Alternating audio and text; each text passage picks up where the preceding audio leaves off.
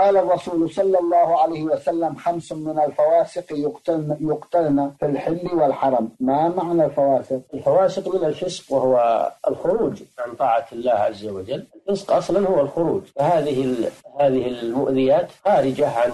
عن المألوف وخارجة عن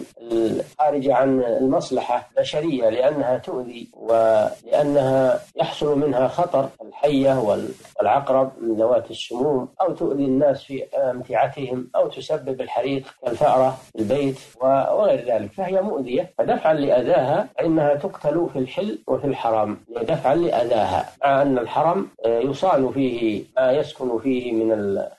الأشياء ذوات الأرواح من غير المؤذيات الطيور وسائر الحيوانات تصان حياتها في الحرم إذا كانت غير مؤذية أما المؤذية كالسباع والكلاب المؤذية والحيات والعقارب وما ذكر النبي صلى الله عليه وسلم هذه تقتل في الحل والحرم دفعا لأذاها قضاء على شرها نعم